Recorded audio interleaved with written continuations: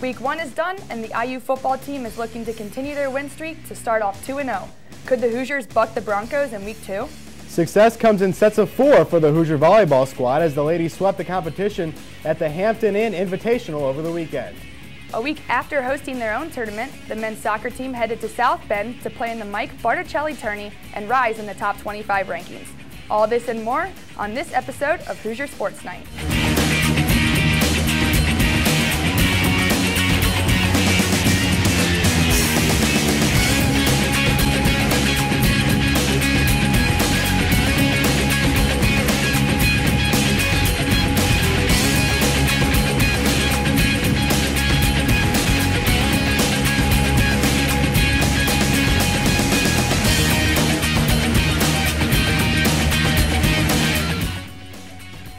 Everybody, and welcome to this edition of Hoosier Sports Nite. I'm Casey Richards alongside Kate Senne. And Kate, the Hoosiers improved to 2 0 on Saturday, but it certainly wasn't pretty. It sure wasn't, Casey. And with the tough conference schedule approaching, it seems things may only be going downhill from here. For the sixth year in a row, IU football looked to start off the season 2 0.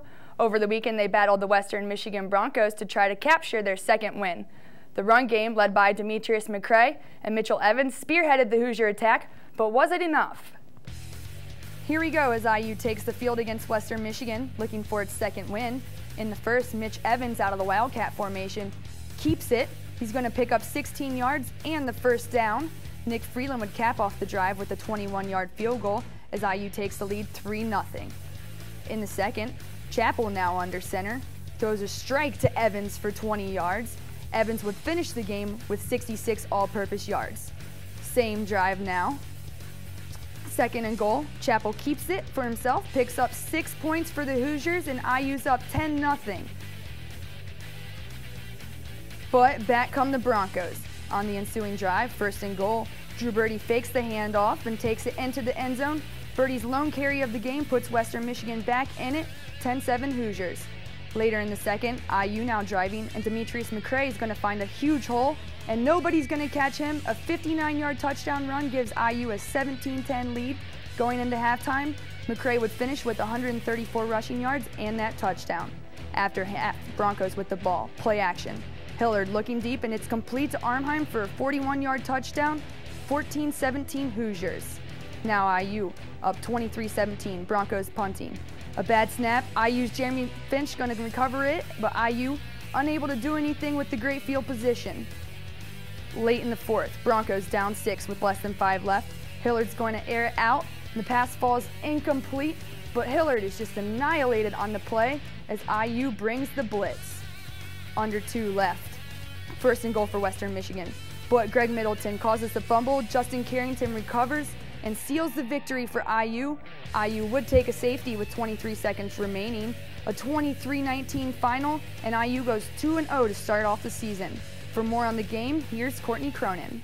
For the second straight week, the Indiana defense came up big in the most crucial part of the game, forcing a fumble late, leading them to a 23-19 win over Western Michigan on Saturday. The biggest thing with the defense is they just kept playing. They didn't quit. You know, I mean, now your back's against the wall. What was there, a minute 30? And, and uh, we only had one timeout. So they're going to be able to run it down, and you know, basically, we might not have had any time left. The defense played great. Um, they really did. They came up with big stops when they needed to, and uh, you know, really held down a, a, really solid offense the whole game. That's what you know we're taught to do. Uh, no matter what the offense does, you know, as long as they can put some points on the board, you know, uh, we should be able to win. So you know, that's the kind of mentality we need to have, you know, throughout the season. Perhaps the biggest change from week one to week two came with a look at the offense. Last week against Eastern Kentucky, the Hoosiers were forced to rely on the passing game, but this week IU took control of their offense, relying on the running game that rushed for 187 yards. We got the big play um, with D down the sideline off a you know a fake uh, with Tandon Doss coming across in a jet sweep. So, you know, adding a little bit helped us. Um, but I think you know, go back, we probably blocked a little bit better, and, and I thought D had a good day. Offense did a great job. We, they could really control the line of scrimmage, and if they was doing that, that just makes my job even easier. IU's offense was clearly more on point than when they were held to only 73 rushing yards against Eastern Kentucky, but the 372 yards of total offense produced Saturday was affected by the 13 penalties IU sustained for 106 yards. Starts with me. we'll get this penalties straightened out. That penalties are on me, um, and uh, we'll work on that. There are some penalties of, uh, um, you know, just great effort by kids. That happens, but a lot of them will get straightened out. But that's, I'll hold my hand up on that one. We're definitely gonna look at the film and break it down, and correct all those mistakes that we had, all those penalties. Like we, we can't have that in the fourth quarter. Like like starting with myself because I had that uh, late hit on the quarterback. That's something we have to get fixed, no question. We can't have pre-snap penalties. Uh, it just kills you, and uh, you know that's something that we got to get fixed. In the last six years, Indiana is 8 and 2 against MAC opponents. A conference with teams that have given Indiana quite a run for their money, the Hoosiers cannot afford to let the intensity down as they prepare for their next game against Akron.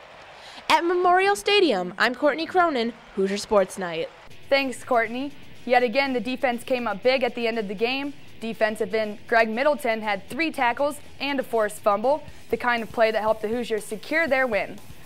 On the other side of the ball, McCray had a career high 134 rushing yards including a 59 yard touchdown run.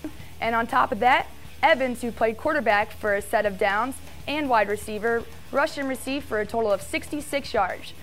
Now, here's more from Memorial Stadium with AJ Schub. After rushing for only 73 total yards against Eastern Kentucky, the running game returned to the Hoosiers this week, anchored by Demetrius McCray and Mitchell Evans. Uh, we got the big play um, with D down the sideline off of you know a fake uh, with Tandon Doss coming across in the jet sweep. So, you know, adding a little bit helped us. Um, but I think, you know, go back, we probably blocked a little bit better, and, and I thought D had a good day. But that's the, you know, you always want more, but that's the kind of balance we feel like we got to have in our, in our, you know, our attack. Yeah, they definitely, they, they, I mean, once again, they did a great job of just changing up the formations and, you know, usually sometimes the defense they get used to seeing the same thing, and when they don't see the same thing on, on, on, the same play every series, that keeps them on the hill. They don't really know what to expect, so that worked to our advantage today. Evans, a former safety, turned quarterback, turned wide receiver, made a huge contribution in the Hoosier version of the Wildcat offense. He's a very good football player. I, you know, I think in one drive he went from, you know, running to catching to throwing. You know, he's he's a pretty versatile player, and that's why uh, he's so important to us the coaches have enough uh, confidence in me to put me back there. So I try to try to go out there and not let them down. I mean, I just try to do, just go out there and just try to make plays as much as I can. Uh, he has a another dimension that they have to other coaches have to respect. He can run the ball and he also can throw the ball. So you know that's just part of our offense. That's just you know we have different personnel and when he comes on the field, defense they have to they have to respect that. If the running game continues to gain speed, we may see a few more wins in Bloomington this year. From Memorial Stadium, I'm AJ Schub. Hoosier Sports Nite. From age 23 to 94, former players from all generations came out Saturday to celebrate 125 years of IU football and to celebrate how far the Hoosier football program has come. Just to be a part of that is a big honor. I mean, I've seen guys that are twice my age come back with tears in their eyes. It means so much to them. And there's a connection, you know, throughout the generations to see the guys that came in and played football here at Indiana University. There's just a sense of brotherhood, a sense of connection, and a sense of belonging together. Our kids sense that those guys cared about them. And that's what history and tradition does. Those guys played football here. They understand what our guys are going. They want them to do well.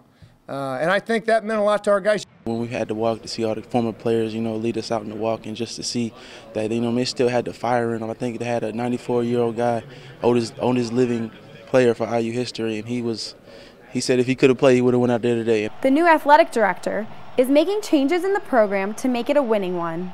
Fred Glass is doing a tremendous job. I really admire him. He's a Hoosier, he's an IU grad, and he's doing it right. This thing is fantastic. We've got the right attitude now. I think we have the right coaches in place. We're getting the right players, and we're going to get there. It's absolutely phenomenal uh, facilities now. To have all these guys, these former players come back, uh, it was great leading the team in the walk. I felt like we, we were all ready to put on the gear and start playing. I think it was moving to our guys, to tell you the truth. And then at the walk this morning, Mr. Cherry leading the walk, 94 years old, I walked with him. I mean, his head was down and he was heading to the stadium. And I think if we would have said, keep going, we're going to put a helmet on you, he was ready to go.